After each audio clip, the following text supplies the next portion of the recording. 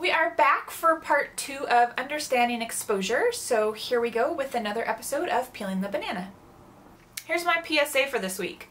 I was using my hatchet and I cut myself. And I had to get a tetanus shot. Don't play with knives.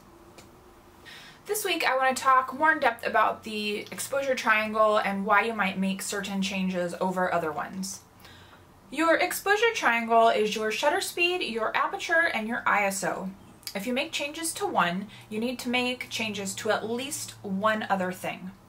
So how do you decide which one to change? That's going to depend on what kind of photography you're doing. Your shutter speed is expressed in seconds, usually fractions of a second. If you are shooting a very fast moving subject like sports or your dog's running and playing, you're going to want to use a very fast shutter speed to capture that action. Usually, the slowest shutter speed you will want to use for stop action is 1 1200th of a second. If you are after smoky, flowy rivers, you're going to want to use a very slow shutter speed, sometimes even up to a second, and definitely use a tripod. The second side of the exposure triangle is aperture. If you remember from my depth of field episode, aperture is one of your biggest tools for controlling your depth of field. The smaller the number of the aperture, the wider the opening, and the smaller depth of field you will have. If you want a large range of your image in focus, you are going to want a higher or smaller aperture. There's an old analog news photography saying, f8 and be there.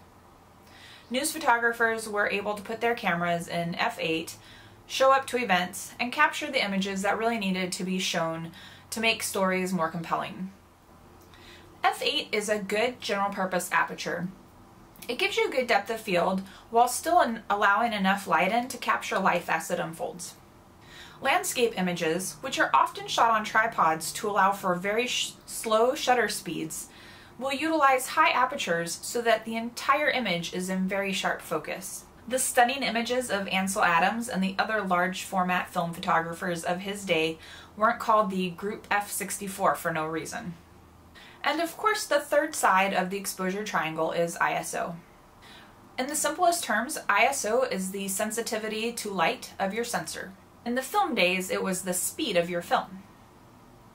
For digital, a higher ISO makes your sensor more sensitive to light, but it also is going to add noise to your images. Increasing your ISO might also be the factor that allows you to shoot that action shot at 1 1200th of a second instead of something slower that might add blur. My personal preference is to touch ISO as a last resort. Um, things like Instagram and Facebook already degrade the quality of your image, so if I can start without adding extra noise into my image, that's what I'm going to do. So how do you find the right balance in the exposure triangle when you're shooting?